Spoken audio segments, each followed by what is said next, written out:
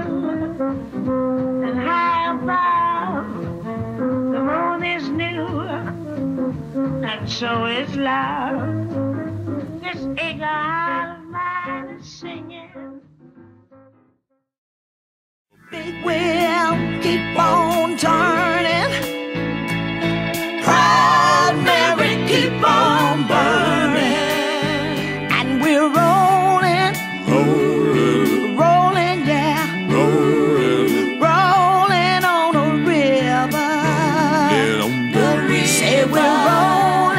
Rolling, rolling, rolling, yeah, rolling, rolling on the river.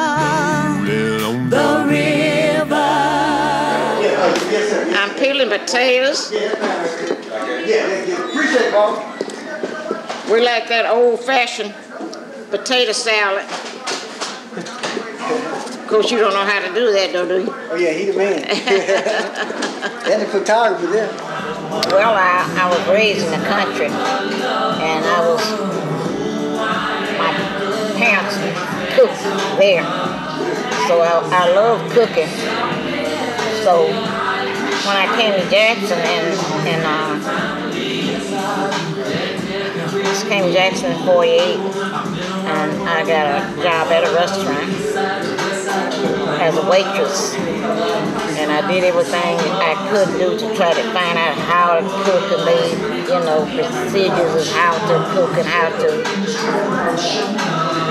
wait on people and what type of food that, that they were serving. And I, at that time, being a kind of little country girl, I see where I could add something else to the menu, you know.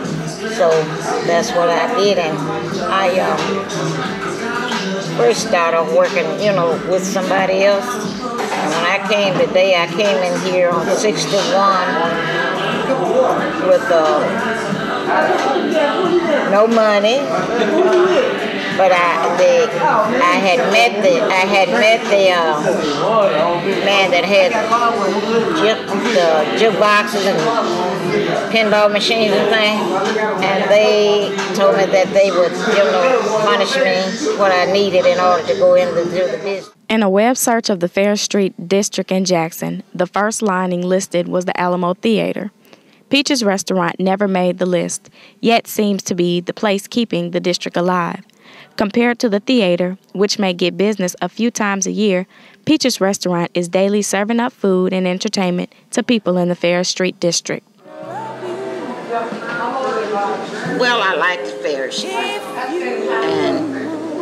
I had when Mo opened up in uh, Jackson Mall, the people tried to get me to locate out there, and I told them that I started on Farish Street, and this is where I would end.